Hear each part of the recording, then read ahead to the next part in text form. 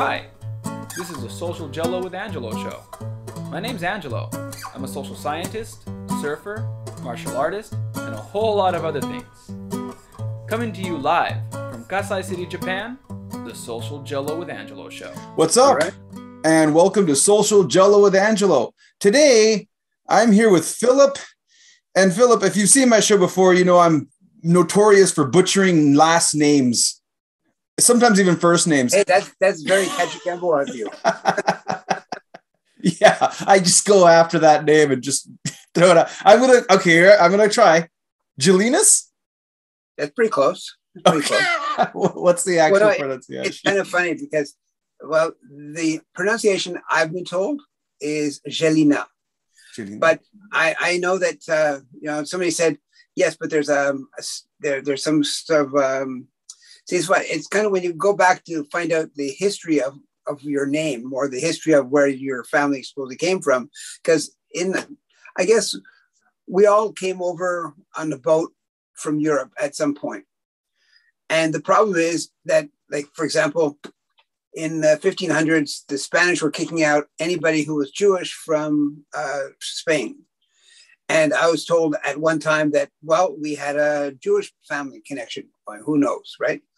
And then other people say, oh, no, no, there's a statue with the name Jelina in, in um, what's it, Czechoslovakia. So realistically, unless you do one of those 23 and me things, you're never going to really know where you're from. And even then, it could have been somebody that you don't even realize who was representing that. Like, oh, yeah, you know, it's like the, the, you know, there's a lot of people who are born on the wrong side of the bed sheet, so we say. So, you know, it, it, you know, people are, you know, I remember that, um, what's it called? Uh, um, Genghis Khan, you know, he wanted to, he had, he had sex with like thousands of women yeah, yeah. and in fact they're told i'm told that he is you know the descendants that he has number in you know he- there's an actual real percentage like eight or nine percent of the people in europe or in in, in asia can be can uh, trace their lineage back to genghis khan who knows but it's like you know uh,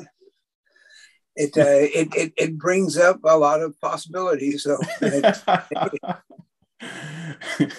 well, um, Philip, just uh, kind of let people know who you are.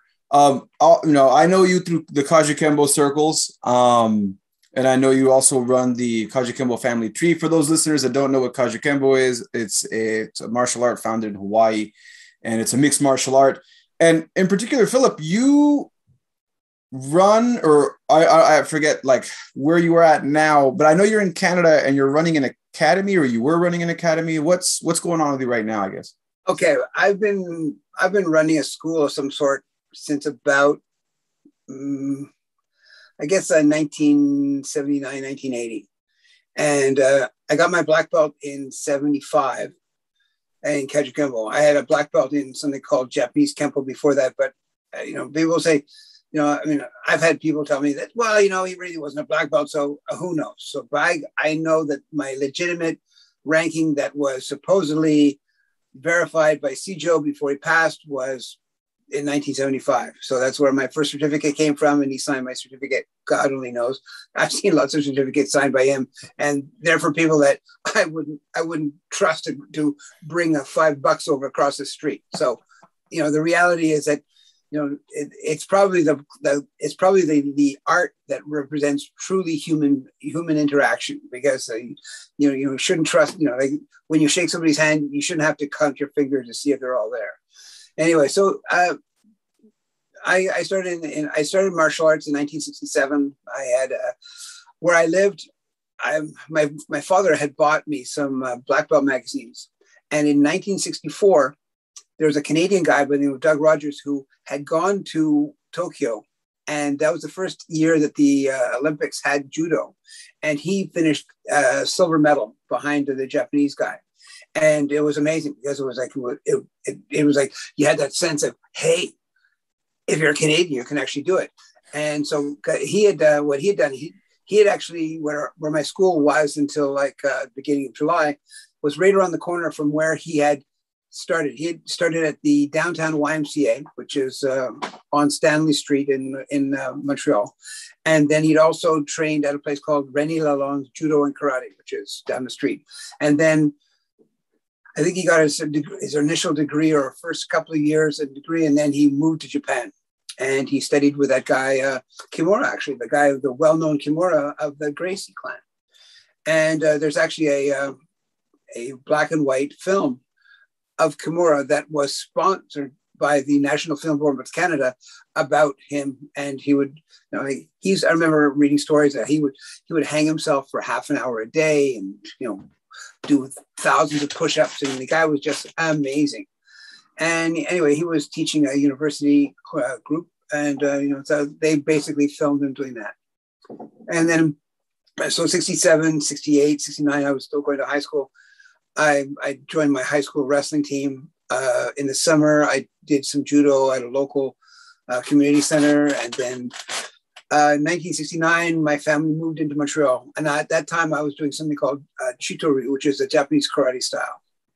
Chito-ryu is actually a very famous style that that actually um, got a lot of its popularity in Hawaii. Uh, the uh, the Chitose, uh, Dr. Chitose, who was the founder of this art, you know, he he uh, had been or most of his students had been Hawaiian. So uh, it's kind of like the same I, same idea, I guess, of uh, Funakoshi's uh, Kenneth Funakoshi becoming a or having a Kajukenbo black belt, and then you know basically being recruited by the the Shotokan people to basically take on the mantle of his family's art and becoming a Shotokan practitioner. But uh, anyway, so that's sort of where I came from. And in, in 1970, um, I, I graduated high school. I uh, I met a guy I met in or I, I'd known in high school had met this Kajukenbo instructor had who had moved to Montreal. Now a lot of people refer to you know they it's kind of funny because in in Kajukenbo, you know we have a lot of guys who who, who fought in the mil- who fought for the military and did a lot of stuff and you know fought in Vietnam. Did all stuff. My teacher was one of those other guys who, who basically didn't fight so much in the you know to go to Hawaii or to go to uh, to Vietnam. He fought to not go to Vietnam, and so what happened is he was this like 115, 120 pound Filipino kid, and he had a very feminine looking face. So you know, a tiny guy like this.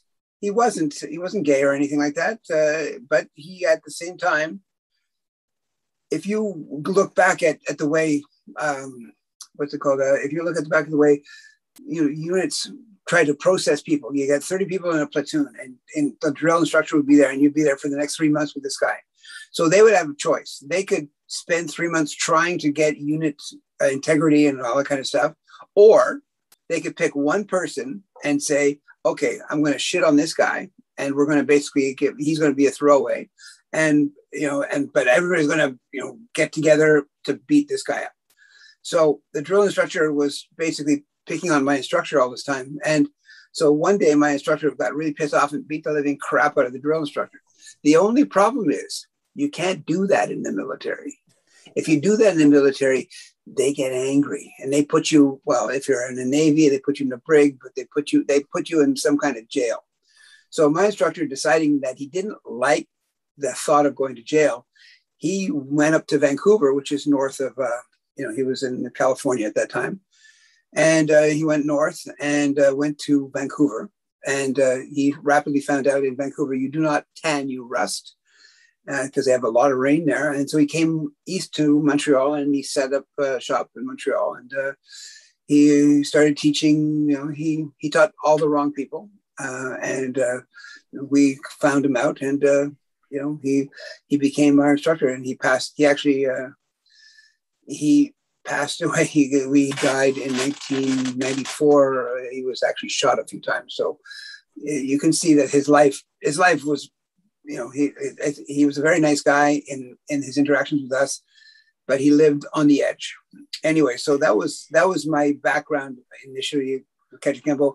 Uh, I met Kat and Cedro Prado in 1975. He was brought up. Uh, my instructor had a big tournament in Montreal, and um, so uh, we were there doing that. And so uh, anyway, so Sijo Emperado came up and saved the debt, And then later on, my instructor kind of like in 1980, he kind of closed his hands, which means in the in the whole in the Chinese uh, tradition, you don't you're no longer interested in teaching.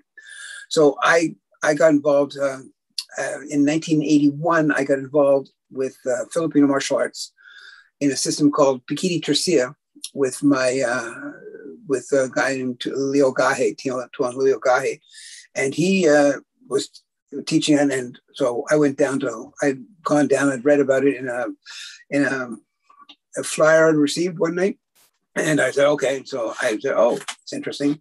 So I took a train down to uh, New York, or New York State, and uh, to a place called uh, well, just this the train station before Albany, and then I took a bus inland to a place called Oneonta, and this is where we had the uh, seminar.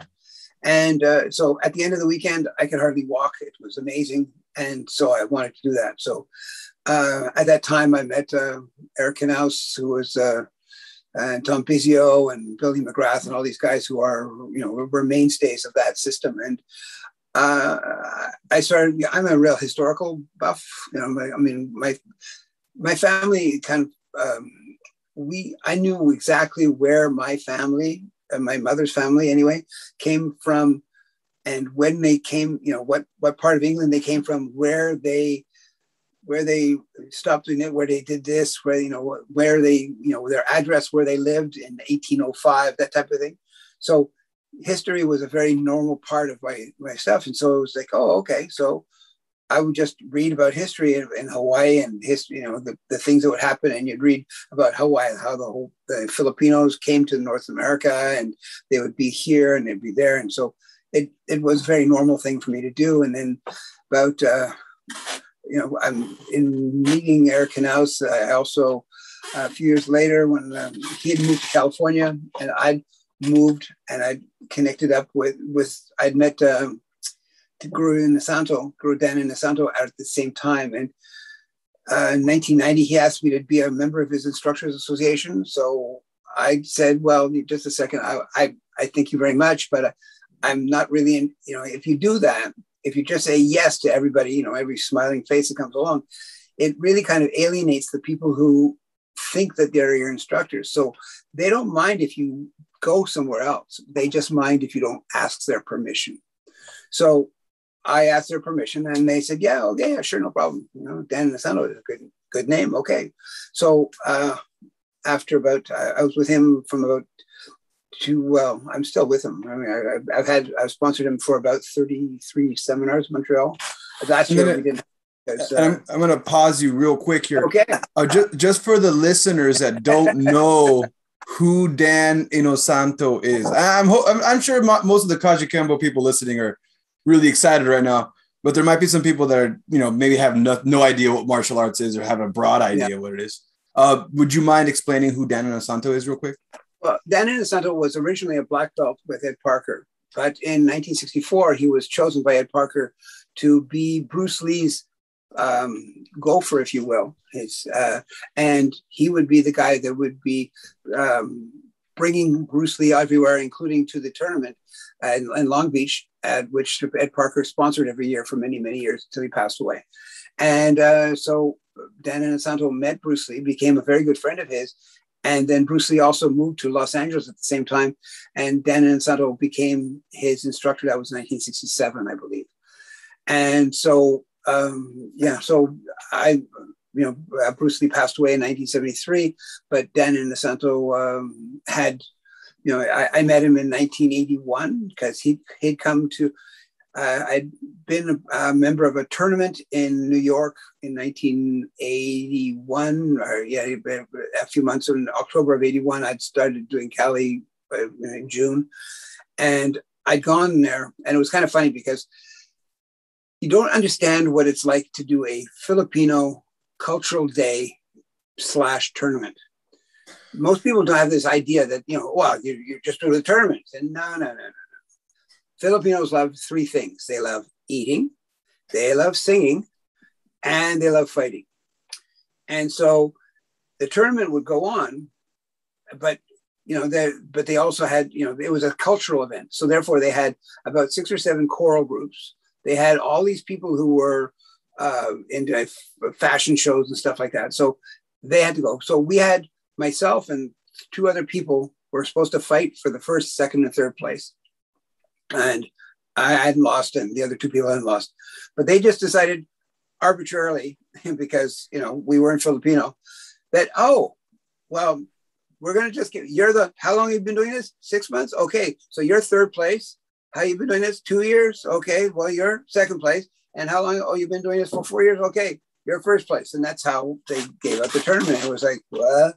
Anyway, so uh, but Dan Inosanto was our head judge at that tournament and I got to know him a bit. And then the next year, we were in Big Spring, Texas during a Christmas event, and Guru Inosanto came down and had about four or five of his students with him, and so I got to know him a little bit better. And then um, I started going to some, you know, around the same time he started giving seminars. You know, he wasn't giving seminars; he was a, a high school teacher in California, and uh, so he just did that. And uh, so what happened was that uh, he uh, he was going to do a few seminars because he had had such a great demand because of his association with Bruce Lee. And so what happened is that uh, when he decided to try and go back to reintegrate himself into the high school like um, the teaching group, uh, group, he found out that uh, well, you know, the guy who had let him do this was not. He, he hadn't done it properly, and so as a result, Dan Inosanto uh, could go back into teaching, but if he went to the bottom of the uh, the seniority pile, which meant that he would have the crappiest jobs because he'd already had 25, 30 years experience by that time, but he'd have to go to the bottom of the pile and of like, and so he decided that, well, in for a nickel, in for a dime, in for whatever, in a dollar a dime, whatever it is. It just, he, he just realized after a while that it, this was not meant to be that he would go back. And so he started teaching. And um, very rapidly. He, you know, he went from, you know, like basically, you know, most of us are happy to get like four or five seminar requests a year. He had so many that you know he, he actually his wife had to, you know, do this almost full time. You know, she would book his flights, book him into places, and uh, you know, so you know, he he actually, you know, if you were to find out how much he made, you would think, wow, this guy can make uh, a tidy a tidy bit of cash at the end of the year uh, just by you know just by people wanting to do that. And there he, he leaves on friday afternoon. He gets to the place where he's going. And he teaches for two five hour days uh, and he'll either come back on the sunday night or the monday morning. And you know so he'll spend four days in los angeles at his school on ocean boulevard. And uh, the rest of the time he just goes off and does seminars. And he's uh, you know 50 50 out of the year like i don't basically i think that he spends christmas at home because he hasn't got any choice because no one will want him to do a seminar he is he is completely like focused on that you know he, he does a seminar thing but he was my he so i started going out he started going doing a lot of seminars and we started having instructor uh, weekends at his academy in Los Angeles. And so I would be invited. Um, actually, it was very funny because when I was down when I was when I would visit him, I have a friend of mine named Bob Reich who was a, a high-ranking guy. Well, actually, wasn't a high-ranking guy. He was a, a long-time guy in Yoshinryu, which is the jujitsu system that, or in Danzanryu, which is a jujitsu system that that was practiced by most of the Kajukenbo practitioners. But most people don't realize that or didn't realize that. And it, it came out, it was also practiced under different names, Yoshin Ryu, whatever Ryu, this, whatever. And, but you know, when um, when uh, Professor Okazaki passed away in 1951, it was like, you know, like a lot of people, you know, would say, well, you know, they, they didn't want what he knew, but like his, you know, there's certain things that you do if you're Japanese that are, should we say that that aren't not necessarily, they're not the best things for people to create lasting relationships.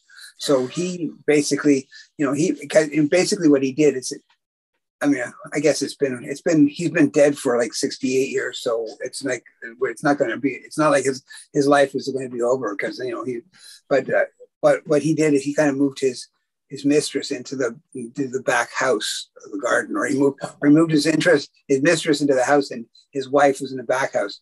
So when she got to beat him up, or when she got when he passed away, and she, and she inherited everything, if she basically kicked and she threw all of his stuff away. As a matter of fact, um, a couple of the the founders of Kajukenbo, I think uh, Joe Holck, drove by and asked, you know, wow, you know, he saw all this junk and said, you know, a lot of he, the reason he had a lot of the photographs and uh, the historical memorabilia was the fact that uh, he was there.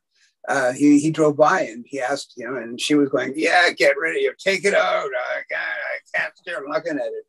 So uh, yeah, a lot of a lot of funny things, but that's kind of made me do this Kajukenbo family tree. I I was this guy in Montreal, and there was Hawaii and Hawaiian stuff, and it, you know, I would go to California and you'd see the names. Like I'd expect, I drove down to California first time in 1974. And I was like, I, I went literally, I, we drove from Montreal down to Chicago, Chicago west to something or other. And then we went down to Colorado, and then we went over and then up to San Francisco. And when we crossed over the border, I got out of the car and the first rest stop we were at and looked in the yellow pages to see if there were any Kajukenbo schools, which is exactly, you know, I thought that's what you did, right?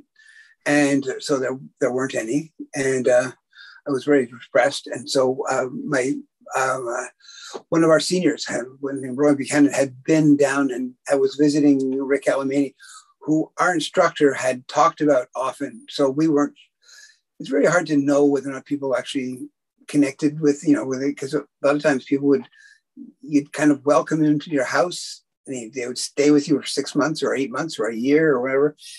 And then they'd go and then you wouldn't really know if they had any connection to what you were doing. And so that's, that's kind of what, what happened. And so uh, we went down, we, I, I, uh, but I was kind of rebuffed because I, I, I was on. I used to do these tours with these rock and roll bands, and one time I was in uh, San Francisco, and we were in this late seventies, and it was uh, Genesis. We were doing something at Bill Graham's Winterland, and right up the street was Jeff Wong's Kajukenbo School. So I, the, we were there for two nights. So I said, "Well, screw this! I'm not trying to be here for two nights." uh, you know, I'm, it's if I come back after the show because it was basically I was running the uh, t-shirt sales. I went up and trained with them, and then went back, and it was like, uh, uh you know, like, okay, whatever. And uh, so that's you start realizing that, that this is this is kind of Kajukenbo. It's like this widely, you know, it's much more organized now than it ever was before. But before it was really, really like you couldn't tell one day to the next if like there were all the guys from the Gaylord group, and did you like them or did you hate them? And there was all the guys from the um, the Costco's group. Did you like them or did you hate them? And so all the groups. I mean, I see that you have Alan Abad's uh, crest behind you. So yeah, I'm yeah. sure I'm sure that you know when he was down in San Diego area, did he like? Did you like? You know, did he like you? Did he hate you?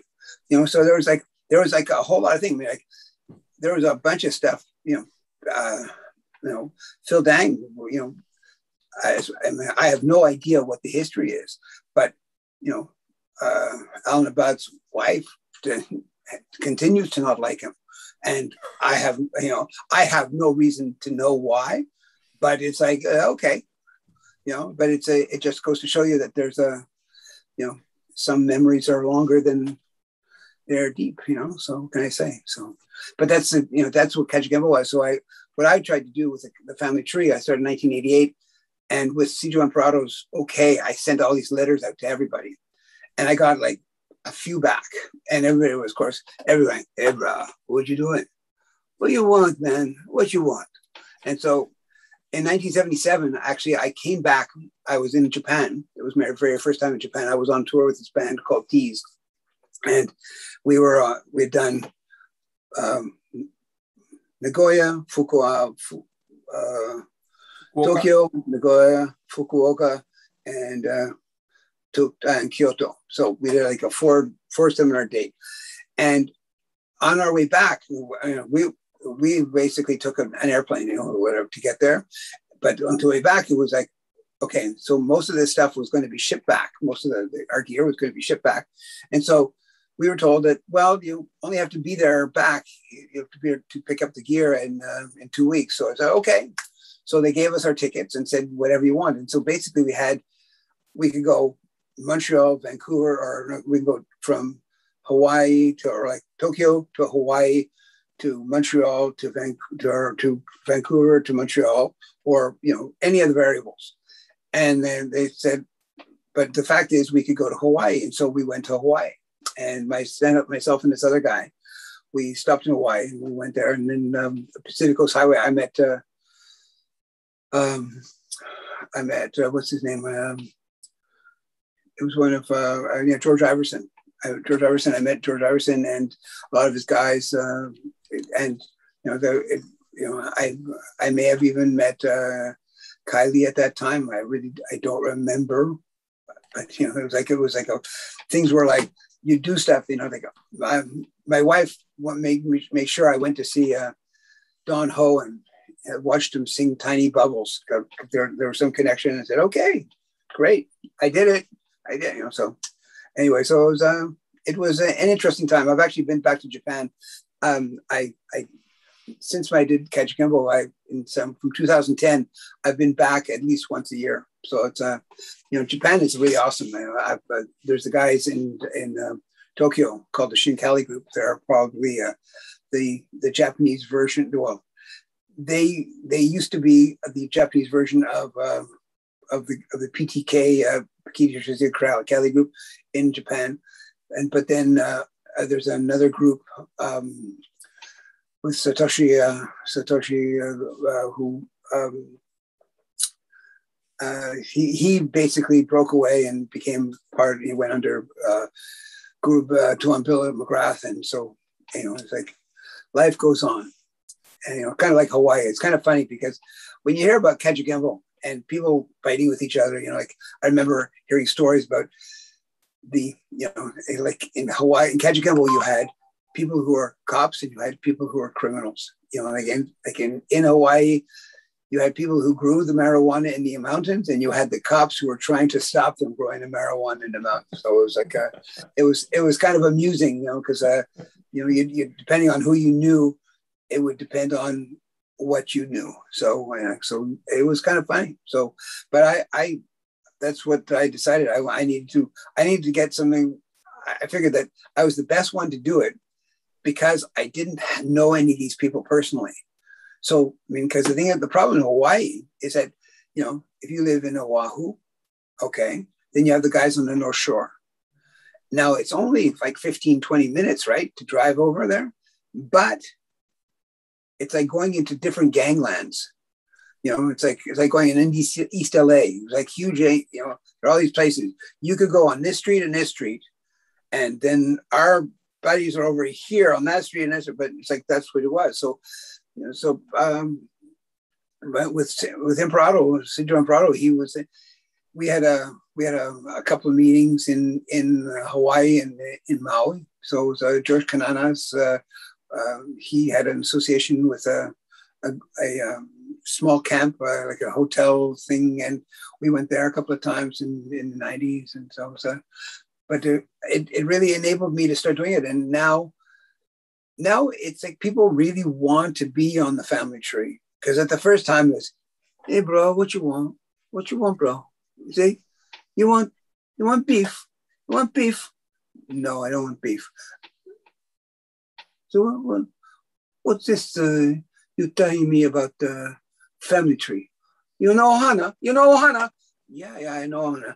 You want beef? No, no, no, I don't. You know, so this is what you would you're dealing with. It was almost like you were trying to steal their their uh, their um, their, their, spirit. Their, like uh, no, actually, I'm, all I'm trying to do is find out about Kajukenbo people like like that, and it was always, it was pretty funny, but it was a uh, but it's slowly it's getting to the point now where people are actually seeking me out, you know, because it's funny because I think most people get very frustrated and I and I, I can see that because i'm like I had been very frustrated early on because you go in there and yeah, I'd been I'd been bumping into people, you know, and they they would talk to me and go, yeah, yeah, well, oh yeah, okay, and you'd spend hours and hours and hours telling them what you're doing, and they'll go, "Yeah, that sounds really great." And then they would basically, as soon as you walked out of there, they'd tear up your card and they'd throw it away. And it, I, I mean, fortunately, I didn't live. You know, the problem is like, like if you live in in Colorado, where the, the Costco's people are, or you live in Texas, where you know uh, they have the the, the uh, Reyes has a certain outgrouping, or you have your Northern California, and north of, of, Los, of San, San Francisco, you have all those guys. You have all these things happening. You go, wow, this is really amazing. But then you realize they all despise each other, or at least they they they they try to. And, and you know, like they they're they're really nice to each other's face, but there's like really a lot of like or animosity. But it took a it took a while, and then uh, but slowly but surely, you know, people people getting to the point where they're going, you know, it's like it's not like they've been ripped off so many times by so many people that I think that they just get to the point where they go, I'd rather beat you up now, boy. You know, hey, bro, I'd rather beat you up now and know that I got you beat up rather than find out in two minutes, in two or two year, two or three years that you're going to rip me off anyway. So it just takes them a long time. So, uh, but now, now it seems to, uh, you know, it's kind of funny because now it's like it's not what I wanted. I the, the thing that the idea was never to create a situation where people were like, oh, you know, you're the family tree, take care. It's like, no, I'm the guy who just cares enough about history to spell your name right. And once I spell your name right and I put it there, you know, I got a lot of time people will say, well, you know, I gave you my I, I gave my name and I never, you know, I said, yeah, but you, you, you know, sometimes people put the wrong names and sometimes people put them backwards. And sometimes they, they, the guy, guy's name is Jerry and they call him Gordon. And sometimes, they, you know, they, they, they, you know, and it's it's tough because a lot of people will say, "Well, you know, I got my black belt," and uh, you know, and they, they tell you here, and I said, "Well, you know, I actually have I spoke to that t- your teacher, and he told you know he told me that under no circumstances should I put your name on the tree." and it's like, oh, uh, and then he says, "Whoa!" Oh. And sometimes sometimes they have legitimate reasons, like he slept with their wife and stuff like that but other times it's uh, you know it's sometimes it's, it's there's just no real reason why and there's all these guys will come over and say yeah yeah i want to do this but i guess one of the one of the things that you know i'm finding now is like a lot of the hawaiians like the you know the i, I remember guru Inosanto telling me a story about uh, blaisdell auditorium in san in uh, san diego or in, um, in honolulu and he was saying about how he told me two stories that were kind of funny. One was that uh, once the Filipino women of Hawaii were sponsoring this international women's group um, uh, event, and they so they you know the, the, the, local women were supposed to put on a luncheon, uh, do something, and then they were supposed to showcase some of the local fight, uh, not fights, but local um, sparring or not um, sports. You know, they, like for example, you know, you come to the United States and you, you see baseball and football, and you go to you go to uh, France and you eat soccer and you know and something else. So and then you go here and you'd see these things.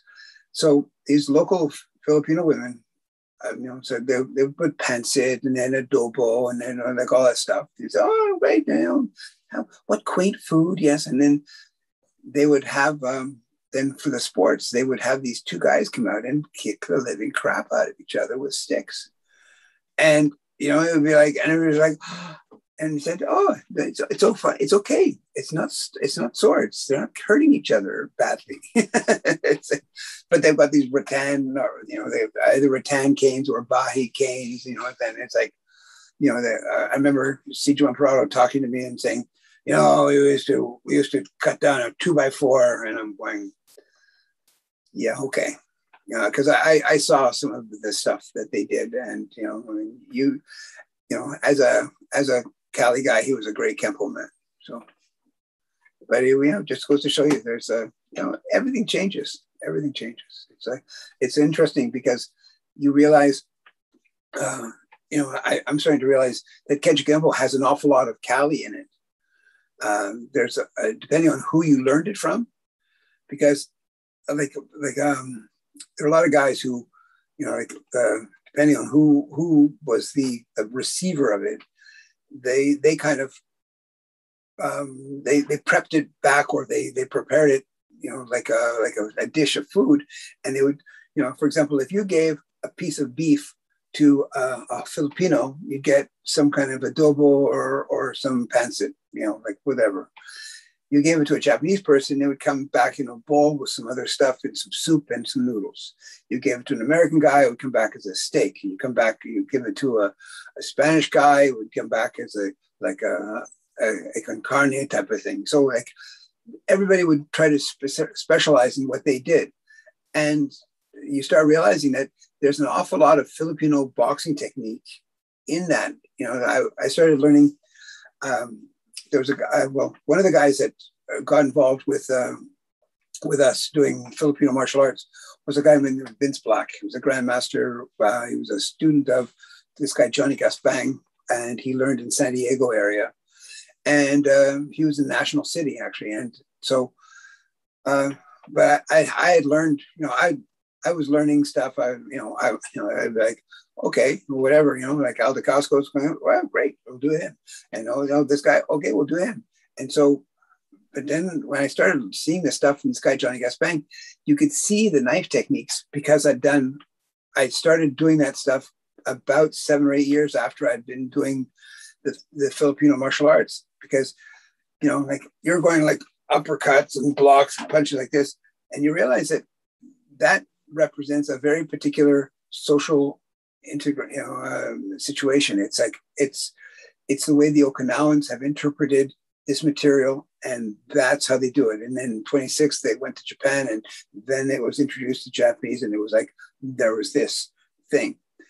And but the Hawaiians or the Filipinos, you know, the Hawaiians have lua, they have all that other art, and it's really amazing. And the, the Filipinos have, you know, they have um, uh, they have, well, they've got, they have whatever Kali, they have they have the Kali Arnis and Eskrima or wherever, whatever part of the provinces of the 7,000 islands that you think you come from, you can reinterpret that material that way. And so they have all this stuff, but you just realize after a while that, you know, the, there, there's a lot of flowing drills that work that, you know, the same idea. Like if you're a boxer, you've made jab cross and then hook, and the other guy goes parry, parry, and then bob and weave so there's a bunch of stuff that you could get from that same material. And, you know, like a lot of people say, well, you know, the Filipinos never had real boxing. You know, we have, you know, Americans have boxing. I said, yeah. Yes and no.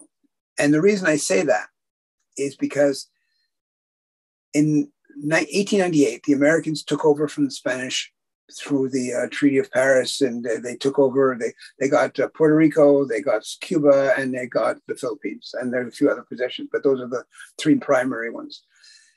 And they would, you know, they people say, well, you know, well, where did they get it? said, look, Americans, you know, if you look at pictures of boxers before the turn of the century, they all their hands were kind of up here you know, it was almost like uh, an ability to withstand the other guy's punches before, you know, it was, there was very few, very few little parrying.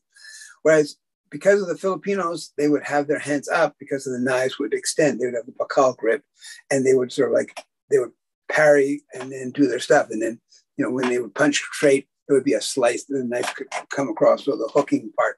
So there was an awful lot of stuff that you'd see and you'd see the techniques and you go,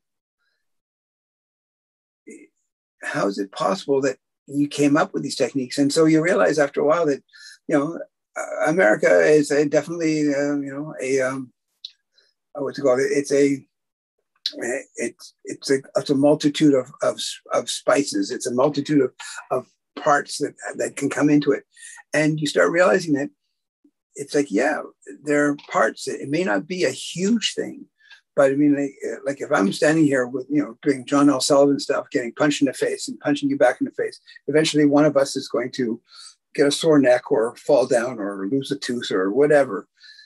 And so there's that whole idea of that. But it's, you know, you start realizing that some technical skills, some other aspects could possibly be developed. under those circumstances. And so you start realizing after a while, and I'm I'm now putting an awful lot more Filipino techniques rather than Japanese techniques in the movements. Not because I don't think that Japanese techniques work, it's just because I know the Filipino ones.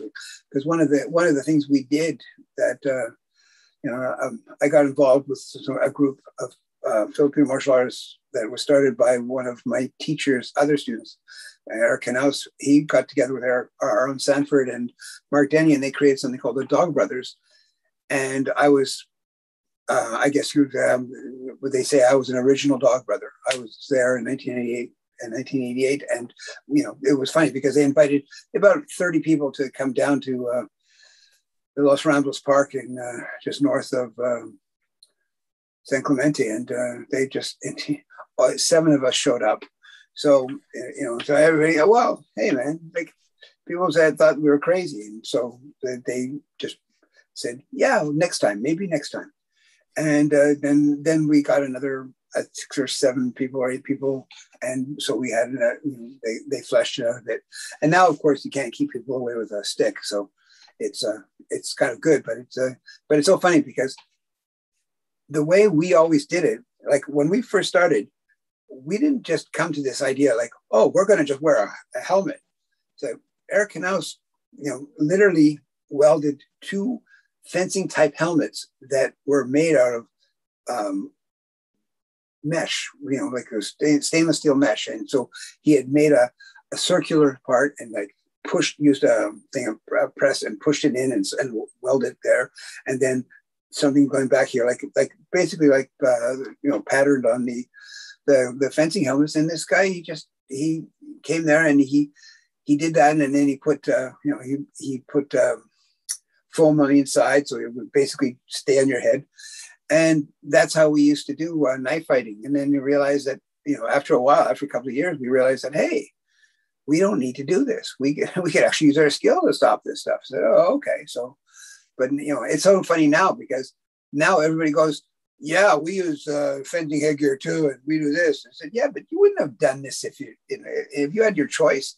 Everybody would have been wearing like, you know, you look at, you know, not no no insult to the Filipinos, but the WEKAF stuff is pretty lame. You know, it's like you wear this dress and you wear this helmet and you wear this cloak, and it's like you have to see the video to see if you got hit because it's impossible to know. You got you are you're so well padded that there's no way on earth that you can even know. You know, and, and the thing is that most people, you know, most people, it's kind of funny because the, they would wear the the the, the tunic, uh, you know, with just the top button or the top thing tied, and so they would so you you would make it impossible for you to do a like a whipping action across the, the stomach of the person because you it would just you basically tie up. And so the person wouldn't do that even though it would work you know to a regular person who didn't have that. So you know it's kind of funny when you you see that you know there's all this stuff that you know I, I don't put myself up there but those other, there's a lot of other guys you know like there's you know people, you know, they, they used to, you know, I remember Eric Knaus was saying, said, because you'd always get hear these, so many people that you'd always hear these guys who claim to have some sort of mastery in the Filipino martial arts. And they would say, ah, yes, but that would never work with against my, my baston. My baston is far too powerful for them to, for them to get, to, to, to stop me. And then, you know, like, so basically what they would do is Eric and uh, Armin, they would be there and they would have a stick ready. So, oh, you're ready? You want to do it? Bang. And they would throw the stick down and they would say, okay, let, let's see. Because we used to have a lot of guys. Yeah, well, exactly. Yeah, this is, the, this is the gear you're talking about, right? So for the for the people listening, if you watch it on YouTube, I just pulled up the and gear he was mentioning. he doesn't tie. See, these things can be tied, but nobody ties them. And the reason why nobody ties them is because you you know if you do a backhand and the person and you you get caught in their their trap, their stuff. Guys whacking your head, but I mean, like they those are are heavy cages, uh, you know. But uh, you know, most of you know, a guy, you know, I, I, know, the better. I remember, uh, you know, sometimes you'd fight these guys, and they would basically have t-shirts and shorts, a cup, and a headgear on, and no gloves, and they, they would, you know, they would, they just, they were motivated, should we say, to do stuff that, uh, yeah, awesome guys. But uh, yeah, so it's um, it's actually it's very different because you, you, you know, even even though you try to do it, you know, you, the only way to actually find out if you're good enough is to do it. You know, people say, "Well, you know, I'm I'm just waiting to do it." "Well, you know, I, I remember back in back in the 80s, you know, the 80s, yeah, there was a, I, was asked if I would, uh, there was a, a night International Kajukenbo Association tournament held in San Francisco, I think, or Oakland near the airport. And I was asked to handle the full contact stick fighting part. So I did. And uh, we had like four or five people who showed up because nobody else, you know, because we were doing a Dog Brothers thing, and everybody goes, you know, all these guys were all WEKAF guys, were all Dos Pares guys, and going, yes, we're ready to do Dos Pares type sparring, but those guys are crazy. So, so we had we had this thing, and so the the guys from uh, Melchor Chavez's school from Albuquerque showed up, and they they were willing to do it, and. Um, Arlan Sanford was there. He was part of at that time. He was from Albuquerque, so he um, did it and there, so we had like five guys. And then there's another guy who i know who i won't i won't embarrass him. He's passed away now but i won't embarrass him or his family. You know he'll say oh you know he, he sent a letter to these guys to the um, association at that time and said well you know i'm you know, tournament worked out okay i guess but if you want a real professional tournament call me next time. And say yeah sure sure. Yeah we'll do that. And then I think I found that's funny. I, so I just typed in Dog Brothers, and um, and your name actually came up. That's I, I googled it and it, it happens. It happens. And and immediately and immediately, but this might I don't know. I don't. Maybe it's not you. Maybe it's another person because oh, maybe. It, it, it has it's it says here. I'm gonna I'm just gonna show you. I'm gonna bring it up real quick here. Hang on a second. Let me.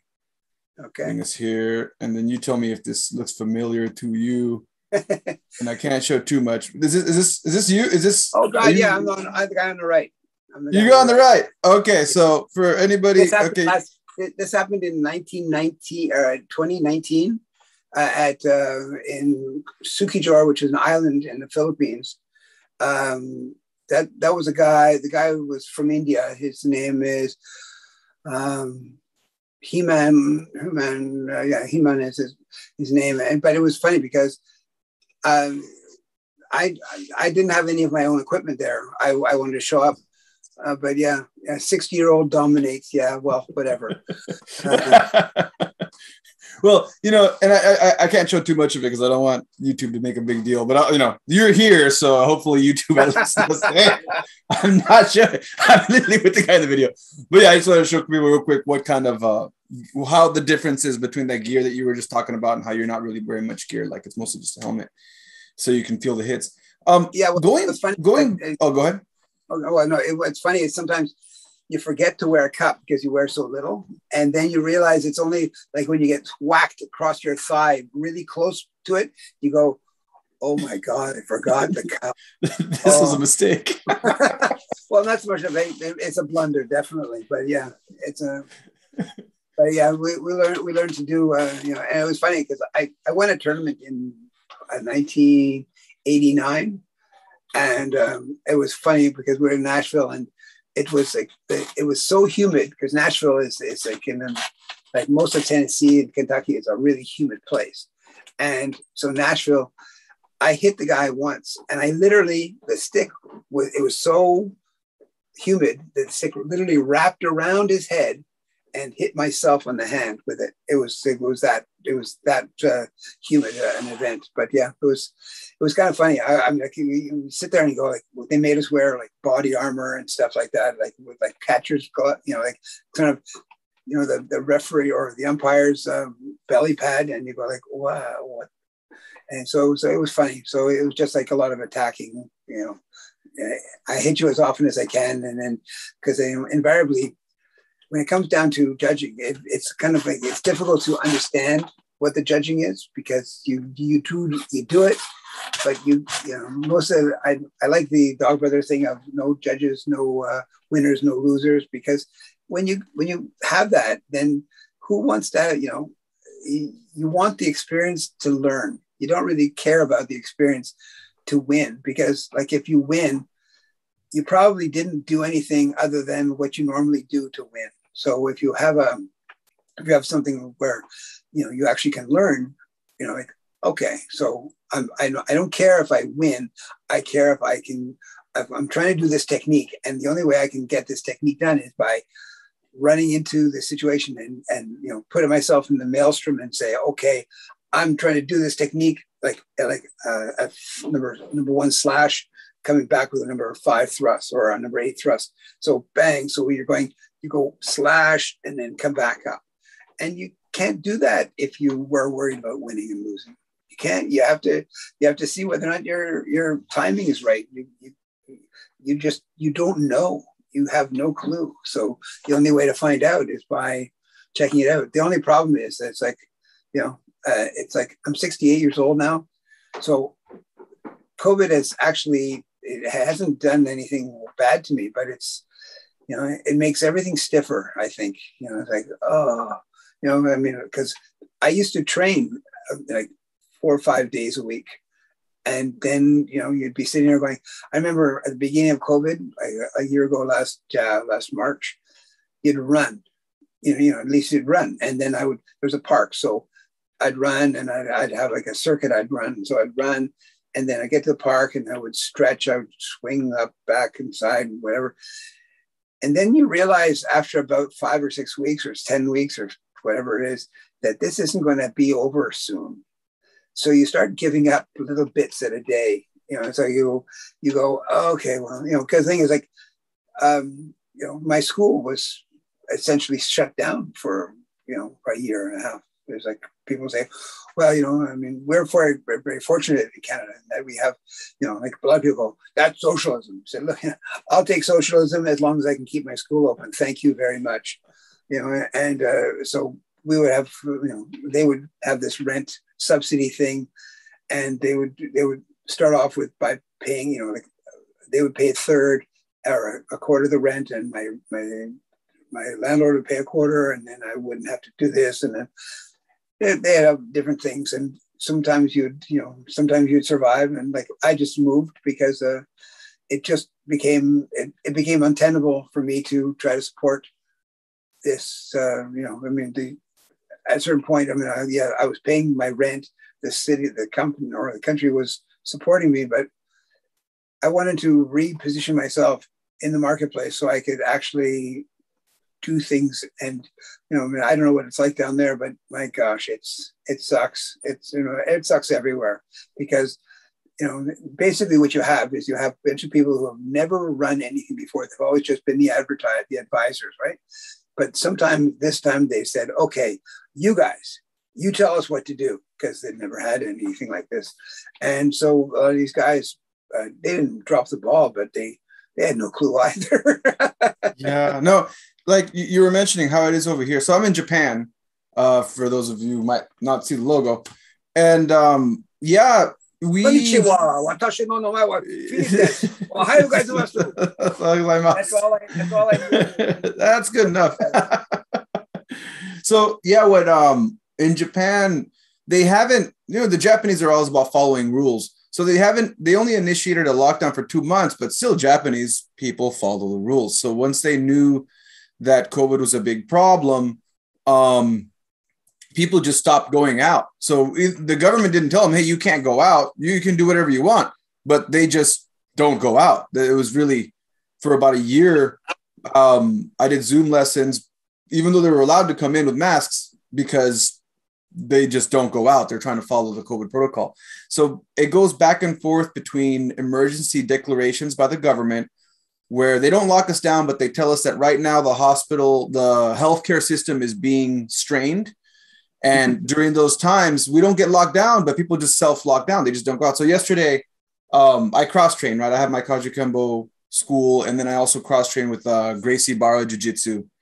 And um, when they go into these emergency declarations, what happens is it in house, the Gracie Barra Association will say, okay, we're only going to allow training pods. So if you're vaccinated, which I am, um, you know, you can come in, you can you can train, but no cross training. So even though there's three different schools in three different cities, uh, you can only train with the people from that group, that city. You can't go into another city to go train. For example, I'm in, I train at Gracie Barra, Kakogawa. I can't be going to Kobe to go train because I, I belong to that group and I can only train with that pod. So, and then even then, uh, I went to class yesterday and everyone was like, I'm not going to class. So it was just me. it's just me, me and the, and the head instructor. And he was telling me the same story. Like, I don't know how I'm going to keep, like, it's, it's rough trying to keep the school running. The guy started his school about two years before COVID. And I was telling him, you know, he was kind of um, new to all this. And uh, I walked in, and at that point, I've been teaching for about 10 years before. So either I came in and I told him I just want to train and I'll start as a white belt because that's what, you know, I haven't trained with you and we'll, we'll do it that way. But um, he, in his time, I was talking to him yesterday and I said, you know, I know people that when I got my black belt opened their own schools and without COVID being an issue, running a school is not an easy thing to do. Like it's not, it's not, people have all like a lot of ideas of how things are going to go when they run their own school, but it's not, it's difficult without COVID. It's difficult to run a school. It's difficult to pay the overhead. If you're running an academy, it's difficult to get three different, especially Kajukenbo, right? People from different schools, different ideas together to work together to run a school um, but then you add COVID to all that, and you know, I just, I just, um, yeah, I just take my hats off to to you folks having to deal with with all that because that's that's rough. Like I said, in, and in Japan, they're allowed to do things, but people, like he said yesterday, no one showed up. And he'll go through these. He was. I'll show up here for weeks, and no one will come, even though they can because they're vaccinated with masks. But in Japan, they will self voluntarily just stay home. So well, yeah. I remember a little while ago, actually not a while ago, I guess a year, a year ago, that's April, March, April. I had, I mean, literally, Guru Inosanto was supposed to come in the weekend. Okay, it was at the 13th of uh, March, I think, that everything shut down, where they started announcing the fact that there was actually people wandering around the world and they were all from whatever. Anyway, so he was supposed to come in the weekend following. So all of all the people, so I had to cancel the seminar. I had to give back like twenty thousand dollars worth of, of of pre pre sale stuff. And then I kept getting, you know, like then I had, I had people who had had not been to the school for six months. Their fathers were trying to, you know, well, you know, he hasn't been there. He, you know, you, you should re- refund him uh, six months. And I said, well, no, because he hasn't been here in six months. Yeah, but you know, you you you have to refund him. And I said, no, I don't have to refund him. All I have to do is make sure that he can train when he wants to train. But you know you you you you have to uh, you know you have to realize you know the same thing. It's like look i'm more than willing to give money back for things like that. But if you're when if you if you have taken classes and you've taken even one class and you had the expectation you're going to take all the classes i'm supposed to sit there and go oh well i'm supposed to read into it that you're not going to take all these classes well it's not the way it works. I, I wish it was. It, it's a, but you know, it's the same thing. You know, it, it I actually, uh, I, uh, Stefan is a black belt in uh, in um, Carlson Gracie Jiu Jitsu. I, I, I actually learned uh, my my Jiu Jitsu. I got a brown belt so far in uh, in Gracie in in Brazilian Jiu Jitsu that I got in 2004. But my my guy who um, I, I I brought I sponsored the first black belt in Montreal. A guy named Wagner Fabiano. He was a Nova União guy, and he was actually he was a, a training partner of the guy who taught. Uh, oh, what was his name? The guy from Hawaii. What was his name? Guy from Hawaii. Um, uh, he, he won the. He was a lightweight champion for years. So. B- BJ Penn. BJ Penn, yeah, because BJ Penn was like his whole family is called BJ Penn.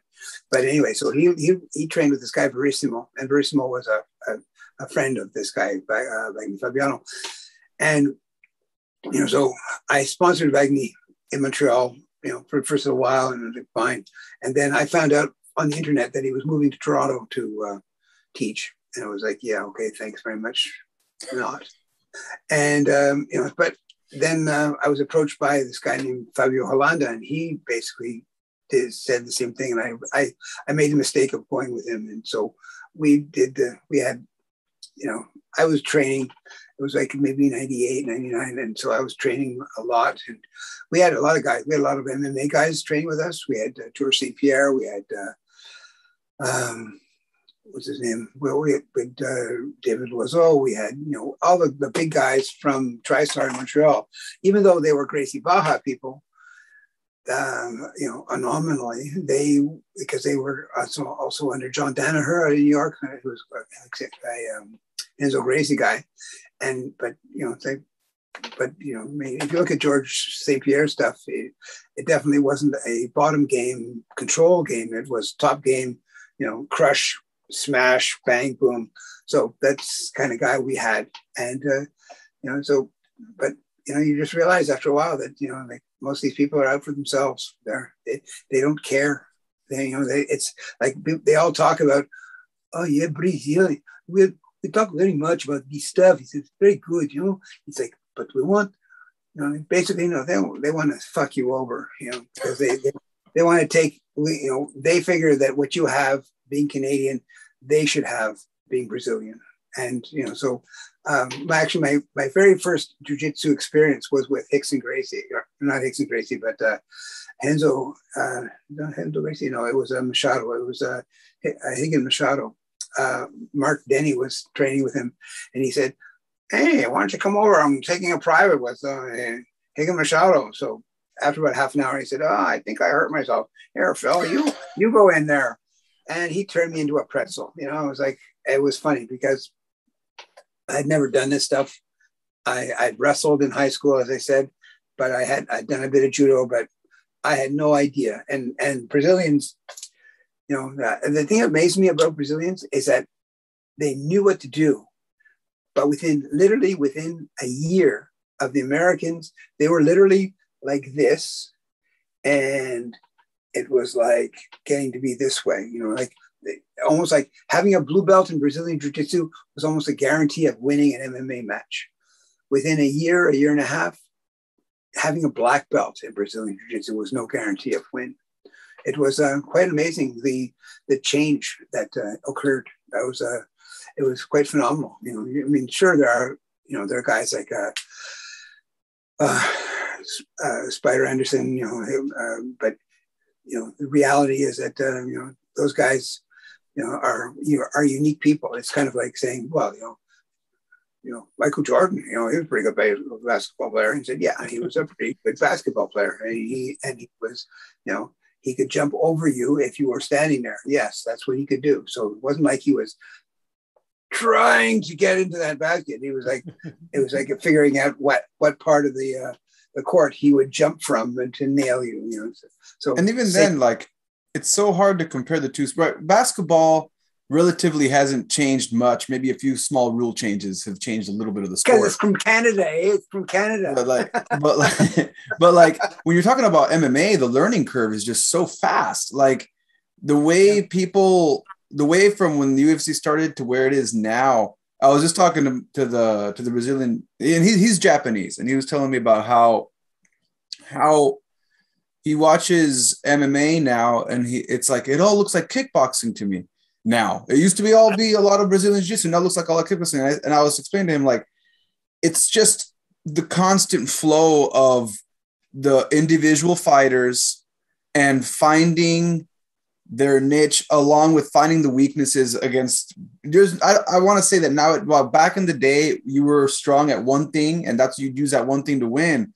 Now it's just being good at everything and finding what your opponent is weak at and going after that which is why now you just see all kind a big mix of everything. And there's no longer that one there's no longer stylists in the well, ufc i think there's actually more stylists now because what happens really? is that you you because the thing is like if you get a guy who's good at wrestling, good at kickboxing, good at like most of the other things that are considered necessary, he is able to win because either he's more powerful. Uh, you know, you look at uh, Nurmagomedov, whatever his name is, uh, Khabib. like he he basically he just went in and he used what he knew about wrestling to destroy Conor McGregor. And so he went and did, he just sort of said he was going to create a level of frustration in Conor McGregor so that you know, Conor McGregor would go off and do stupid stuff, and he would get caught. And then since then, since that, since that, since uh, Khabib beat the crap out of uh, uh, um, Conor, he's been beaten like half a dozen times. You know, it's like it exposed him as being not the complete fighter.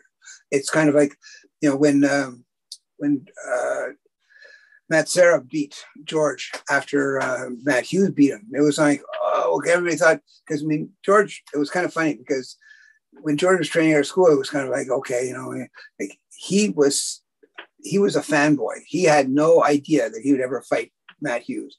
And when he got to fight Matt Hughes for the championship, it was almost like, you know, you could almost see like, you know, he couldn't, he couldn't literally do something against his, his, um, his his his uh, not his boss, but the guy that who he respected so much.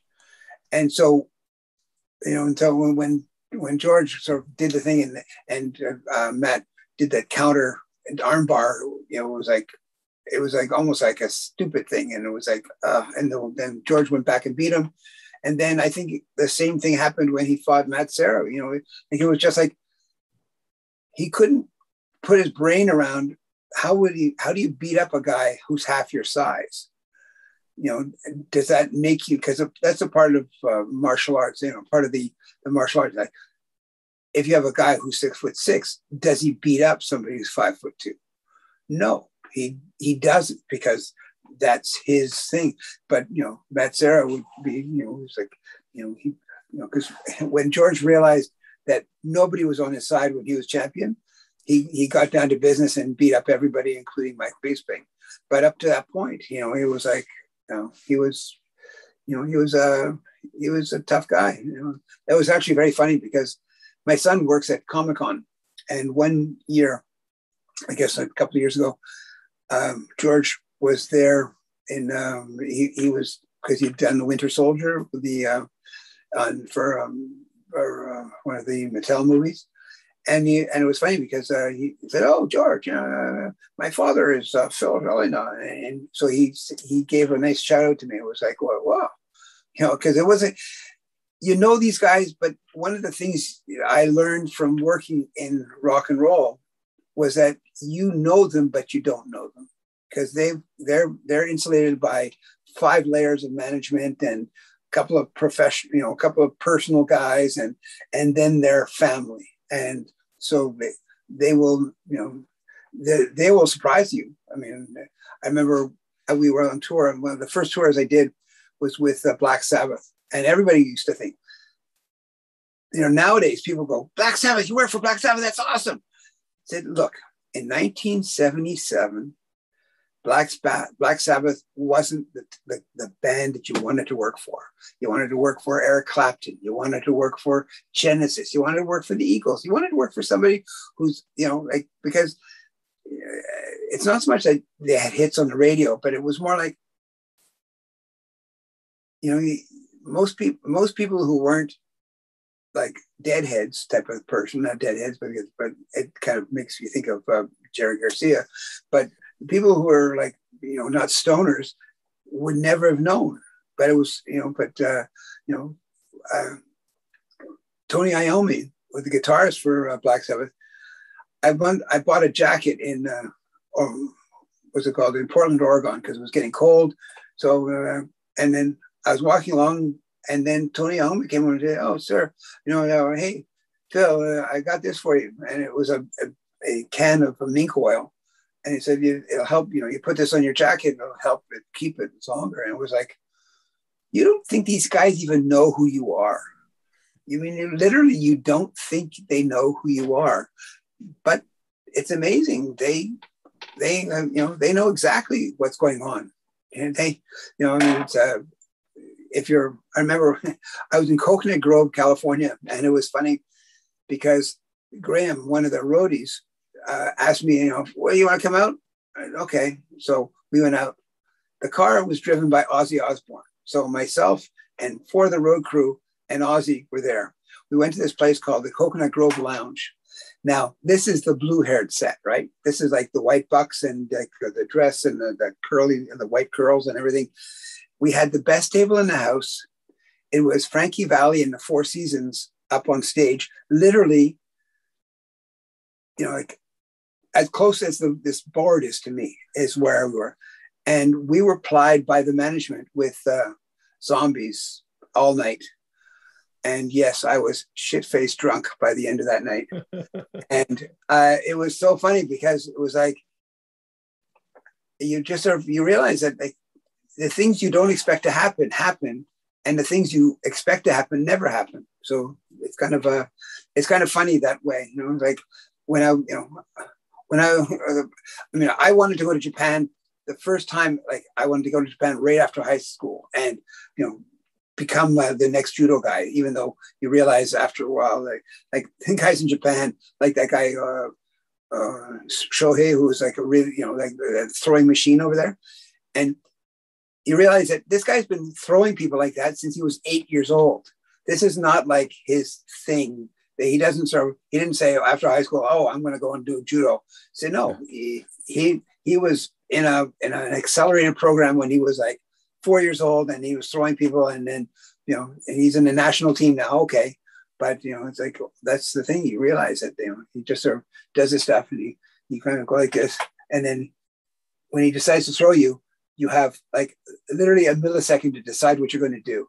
And if you don't do it, well, you're like all the other guys who gets thrown. like, yeah, yeah, he's a, but yeah, but you just realize after a while, it's like, you know, that's, you know, so it's kind of funny because, uh, you know, when I, when I do get to go to Japan, I get, or I, and I go to Tokyo, the last time I went, I was with my family and uh, we stayed in an Airbnb in uh, this area, which I can't even remember, somewhere they have an old um, Olympic training center on one of those streets. It was right next to Yoyogi Park.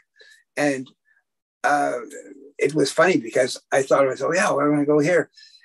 But they took the pictures of this place. We thought this place was huge. It was the size of a shoebox. And there's enough room for me and my wife in one room, my daughter and my son in another room there was they were kind of connected and there was kind of a sitting room dining room kitchen thing there and a area that was sort of a bathroom and that, that was it that was our and we paid like you know we paid a lot of money for this but then you know, when you realize that that's how much hotels cost so it was really not that bad a deal but it was uh, it was very funny it was like you know we just sort of but they they went to uh you know we went to disney sea which is the SEA. Like I'd never been to Disney. I mean, I've been to Disneyland a couple of times in California, but you just don't think about it. The Disney Sea. What is Disney Sea? It's the air, the land, and the sea. And you go, okay. So we went there, and then my my wife and daughter went to uh, uh, what's it called? Um, Hello Kitty Land. And uh, yeah, it was like it was it was like there was all this stuff. We went to see the uh, mechanical. There was a um, mechanical animals or something like this. So like a, uh, there was a, a, show with lights and sound and really loud sound with uh, these, you know, fighting, you know, robot restaurant stuff like that. Which is like, it was so weird. Then you you go, you know, so, but my kids thought it was great. You know, they were like, yeah, this is awesome. Yeah, I mean, for okay. for people for people that go to Japan, I always tell them like if you want to experience the wild, the stuff that you see on the internet, Tokyo is a place to go. Um, and I have people sometimes contact me because of the podcast, like I want to go train with you, and I, I always I always give them a big warning. I don't live in the crazy wild part of Japan. I'm, in, I'm in the countryside. You'll get a lot of rice fields, and and that's about it. No fighting robots. Yeah, yeah. Well, it's uh, it, it's funny because I when I was uh, you know the, the, very very first time I was there in '77, it was just like, wow, this is this is really neat. And, you know, we, we were in a, we were, you know, I was I had to go to the uh, air the air shipping place, and we had to we went there and we I had to, you know, there was this whole bowing and scraping thing that you had to do with the customs guys so that they would let your stuff land. And so it was like I had no idea what I was saying, but I was saying a lot of it. And so, yes, you know, hi, hi, hi, hi, and yes, and then, and so you you'd get that, and then you'd you'd you know you'd you'd travel around, and you know you'd you'd get you know sometimes we would take a truck. I mean, I, it's funny when I was in uh, in uh, Tokyo and we landed in uh, not not Haneda, but the um, the other airport, the big airport, whatever it is. Um, I can't remember what it's called, but it's um, but it's it's amazing. It's so big, you know, and there's they they still think that there might be problems, so that they, you know, there's always going to be pro- progress protests to it, and so they've they've got this thing, this chain link fence all around it, and they've got you know guards that you can't get, you know, if you you go in and if you if you haven't done it the right thing, and they won't let you in, and you know even though you can get there by train, you know, you just realize that there's probably like eight million cameras on you, and you know they're just checking to see, and and if you if you if you step out of line, you know. You, you get taken into the basement room and never seen again.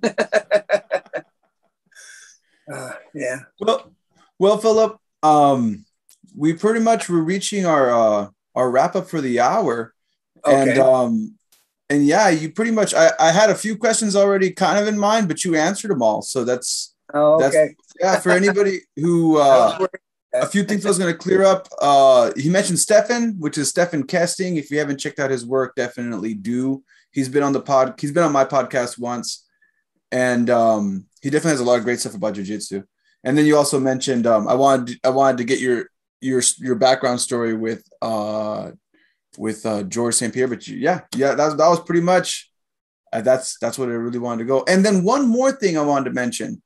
Um, he, he mentioned the Kajukenbo family tree. For those people that don't know what it is, it's a historical record of people who practice Kaju Kajukenbo who have black belts, and Philip yeah. is the one who runs it. One of the things I want to say that we're not supposed to like some people put their kids on there like their 12 year old kids it's nice but there's no way a 12 year old kid i don't care how unless he's maybe um, you know the kid is who was at 14 and got his black belt and you know fought later in that, that year fought uh, fought uh, John Natividad at the internationals and in the, for the grand championship and lost by one point, I think 12, 13 or something like that. So there are the, the unusual guys like that. But most times, 14 year olds, I remember the first year I went to a tournament where they had all these kids, black belts, and it was like, because I'm not going to say they sucked because that would be an insult to their instructors, but fuck, did they suck? They were really bad. You know, I mean, like they, they it was like you know, mommy and daddy were there, and you know, it's like, and my kid, you know, I, I remember a, a, a person I, I, went to school with actually said, you know, uh, my kids are uh, 13 and 12, and one of them is a third degree, a junior third degree, and the other was a junior second degree. And you go, like, how is it possible to have a junior rank that, you know, as somebody who was like 21 or 22 would be happy to have and think that they would only have to work like 12 or 15 years to get something like that. And meanwhile, there's some 12 year old kid who definitely didn't train, you know, doesn't train more than an hour every couple of weeks and, you know, is able to get it. I just, I'm sorry. I, anyways, anyway, so we don't, we're not supposed to have um, people under the age of 16 on there. I mean, that, that's part of the, the listing at the bottom. I, I have some rules, uh, but that doesn't stop people from putting them on. And so okay. I, you know, unfortunately, you know, I'm not going to sit there. If I know that this person isn't a black belt, I won't put them on, you know, or not a black belt. But if, they, if I know the person isn't 16, at least 16, I won't put them on. But sometimes, you know, there, you know, people, they, you know, there are a lot of us uh, out there who, who will make money from um, giving our rank, you know, giving the ranks away easier than they would have to work at them. So it's too bad. And, and I think I think you're going on a good point because um uh again, like you were saying earlier, it's not like you have any power or control. You're just a record keeper. Like you're you're keeping record. You're you know you're not you're not like a gatekeeper of what's on there. And I think that's what some people that uh, see the family tree may or may not know.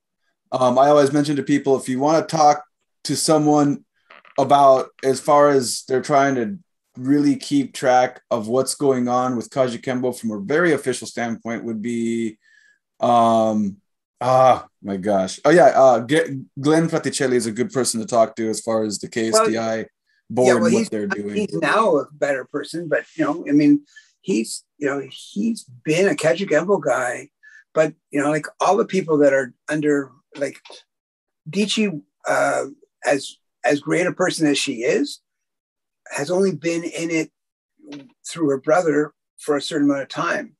But there's a lot of, you know, it, I think what you have to do is you have to have an awful lot of independent thought, kind of like, you know, it should be like a, you know, like for example, medicine. Medicine is open to everybody, and so if you happen to be a doctor, you can write about stuff. And and you know, there are guys who think, you know, they'll they'll write about the the, the epidemic, and uh, you have had uh, vaccination, so you know what you believe. And there's other people who go, it's fake, it's nothing, it's not real, and they go, uh, okay.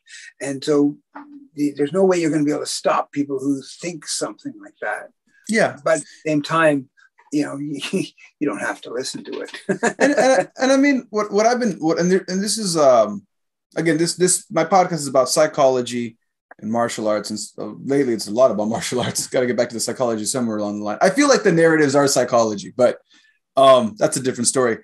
One of the things I really have enjoyed about doing the podcast is just seeing how many Kajukenbo practitioners are out there because I had no idea. And when I started training um, when, with more organized martial arts, organ not not to say anything badly about Kajukenbo, but there's some associations that are really strict and very well organized. And when I saw those associations, um, what I noticed was that us Kajukenbo guys, we have something. I like how free we are, uh, men and women, guys and girls, um, how free we are to do what we want to do. And there's a lot of us. We are a huge group of people. And I feel like the family tree kind of helped me connect with some of those people. And even people that may or may not be on the family tree, I've connected with them too. And I just really enjoyed talking to people that that that do Kajukenbo because there's really in the greater scheme of things there's not that many of us when you compare us to art like judo or or karate or or Brazilian jiu-jitsu or you know that's that's one of the things that I've noticed within what we do so I really do appreciate the work you do to try to bring some some kind of organization to that some sort of network which has been um which has been nice it's been nice I've been able to collect a lot of awesome people through that so well, Thank actually, you. It's, it, it's you're very welcome. It's it, that that you know I was trying to do that for me because I knew that if I was able to get these people to give me their history or a little bit of their history, it would give me the opportunity to find out if I had a connection to that. And you start realizing that you know like there right now there's been a kind of a movement about all these people now who acknowledge Joe Emperado as a more important teacher in their lives than Adriano Emperado. But and, you know, I mean, in a sense, Joe Emperado passed away in 1956. You know, I mean, he was within like maybe 10 years of the uh, well, it was in eight years of the uh, the founding of the art.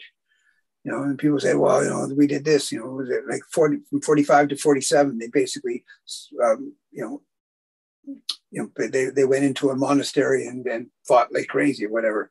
And then, you know, I remember like, you know, uh, like things like the, the Palama exercises, they never had katas. They never had katas. They, if you look at the, the old Kempo stuff from uh, Mitose, that stuff never existed, you know, like katas never existed. And, you know, people say, well, you know, well, how did, how they do it? Well, they just, they, they invented stuff you know they took the old Naihanchi stuff and they invented it and you know they they because if you look at it, you know, the, the thing that the, the, the most amazing thing about the Japanese is their ability to make you feel smaller than you are. You know, they would have this kind of like, they'd look at you like, oh, you don't know kata. So you know real martial arts. And you go, uh, so, you know, so you you try to do something that would put you up in their eyes and you'd realize that hey, that's that's a thing. You start realizing that if you start judging yourself based on somebody else, you go, what? no, uh, to, to, to that note, to that note, to what you just said, I'm in Japan and I do Kajukenbo with the kata and everything. And I still have people saying it's not a martial art. And it's because they have a certain way that they do things. And I, I, it's, it's, um, I've seen this. I've seen this outside of Japanese martial arts. I think I see this in, in a lot of martial arts that say things are a certain way and this is how we do it. But yeah, like even if you do have kata, uh, the Japanese have their Japanese Karate Federation. Um, I've told the story before. I think on yeah, I've said this before on the show. Um, I approached them. I said, "Hey, I want my I want some of my students. I had some kids at the time that wanted to do some tournament point sparring tournament thing. I'm like, all right, hey, I have some kids that want to do some point sparring. How do I enter your tournament? And um, they pretty much wanted me to reteach all of their kata and reformat my Kajukenbo to fit their their association, their international association, in which I just which just included a lot of money. And I was I just said, no, I I appreciate it. I appreciate you. And they, they kept telling me how lucky I am that they're making an exception for it. And I just, you know, I appreciate you uh, offering me that. I'm just going to respectfully decline.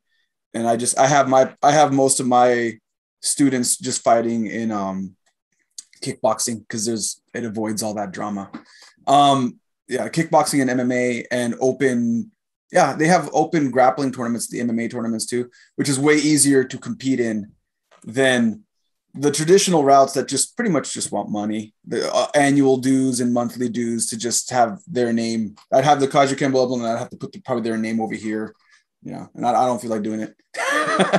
well, I, am fortunately North America um, basically was created by people who were a little bit on the other side of the, uh, the, the, the blanket, should we say, or the sheets. They, they kind of, you know, like, um, uh, I was named Ed Parker. Ed Parker, you know, studied with uh, with Chow, who studied with Mitose, who kind of like, yeah, and Ed, Ed, Parker also studied a bit with Emperado, and Emperado had his thing. And then you go like, okay, so there, you know, you just realize after a while that, you know, just because somebody, you know, in a sense, like people say, well, how did medicine come into being? Well, somebody decided they wanted to heal that person. So eventually, you know, whatever junk, you know, because invariably it was like, oh, the great mountain yonder has, you know, if there's clouds above it, then you will get better. If there's sunshine, you will get, you know, like that. That's how it was all based on faith, and you know, like, oh, you know, you know, we, this happened, and then you know, eventually they came up with an understanding that if you take a bit of a, a bark from a a willow tree, you can you can create a, a thing that you know eventually became aspirin. And so you just realizing that okay, you start replacing the things that you know with the things that worked.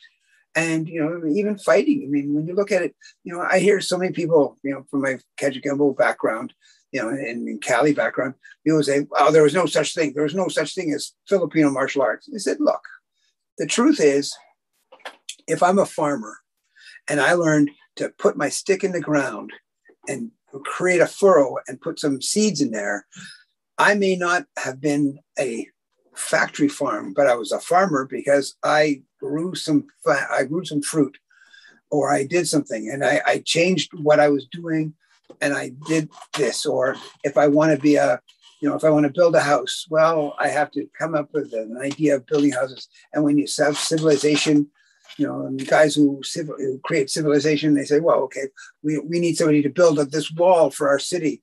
So you, you, you build, start building walls and then you become, you know, you become the go-to guy to build walls. Why? Because no one else was building walls, you know? So, I mean, all that stuff, it's like, it's, it, everybody, everybody has this idea that somehow, you know, if you didn't have that in the society to begin with, then you couldn't have it later on. So, well, it's ridiculous. Imagine if we're crawling out of the trees and we're going like, hey, who wants to be a god? Who wants to be a doctor? You. You're going to be a doctor. Okay. So you you come up with something. I got a really sore arm, so you got to come up with something to help me. Who wants to be the farmer? Okay. You got to you got to put your you know. And it's like it's, it's, stupid things like things that can't can't possibly happen. You know, like you know you you you you read stories from the old days, like you know things like biblical stories or Mahayana stories from the, you know the, the older cultures or the you know the you realize that you can see the roots of where people started doing their stuff, and it's like martial arts is no different. You know, somehow this idea that somehow martial arts have to be sprung on. You know, like uh, if, if you look at Taekwondo, Taekwondo is you know, the organizational structure is basically Shotokan from the Japanese control of, of Tokyo or of Korea from let's say 1906 to about 1945. And then they said, okay, now we're going to try to do the Tai Hyung. And they added kicks. And all of a sudden, bang, they had a different art. But before that point, it was it was the it was the art that they wanted it to be. You know, it was yeah. like Shotokan. It was Shotokan. And then they said, oh, okay, we don't have to listen to them anymore. Screw Shotokan. We're going to do Taekwondo. You know, and so that it's, uh, you know, and then you look at, uh, you know, there uh, things in Hawaii, you know, they, they had all sorts of silats that was there. And, uh, you know, I've done, there, there's a, a form called Fauyip, and that looks to me exactly like the silat beset in Sapu.